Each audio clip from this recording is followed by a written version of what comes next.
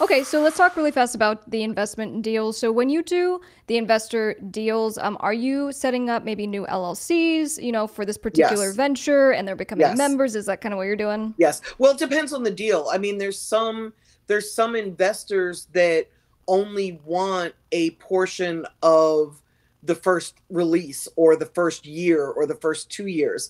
And then there are investors at the other extreme that want 50% of the artist in perpetuity. Well, not in perpetuity, but you know, for a long period of time, however long Right. that is, 5 years, 7 years, whatever. So it you don't necessarily get what's fair you get what you negotiate and it also depends on how much leverage you have if you're an artist that's able to stream a lot and you're getting paid shows very early and you're going viral on TikTok all the time it's going to be much easier to find an investor than if nobody's heard of you and you put out music and you get 12 streams or you know 12 views or you know 12 of anything Right. So for the artists, rappers watching this right now, a question might be, okay, I'd love an investor. How do I get an investor? And what do you, I guess, tell your clients or what do they do?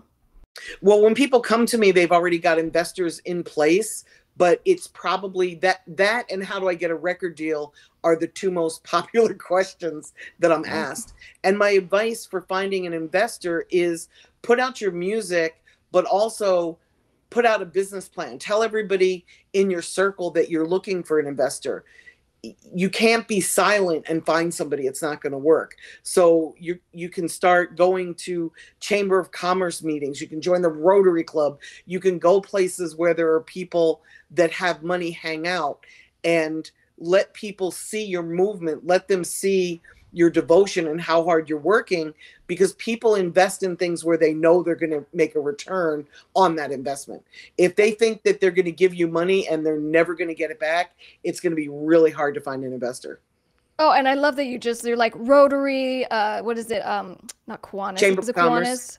You, and yeah, so any of these. where people that have money go to hang out and of course Yeah. the biggest one the place where most of my clients find money is by telling everybody in their world that they're looking for an investor.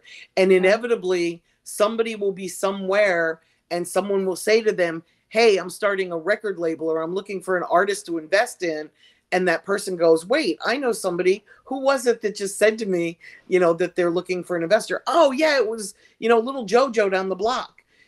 That's really the best way to find money is through your network because when people know you and love you they usually trust you and when there's a level of trust it makes it very easy for people to matchmake Yeah, and I found too that people outside the entertainment industry, the investors, sometimes just want to get in because of the novelty, the excitement. and they love they want the backstage. Yes. They want to be on the music video sets, and that's all they care about. They're like, okay, here's a quick 50. I don't care. Just invite me. I'd rather have that. I'd rather have somebody from outside of music because somebody in music is going to want 50% of everything. And their idea of recouping is based on a, a very old, archaic model. Somebody outside of music is probably going to do a little bit of a better deal with an artist, especially if they have a VC background. yes, VC being uh, venture capitalism. Venture capitalists. Yeah.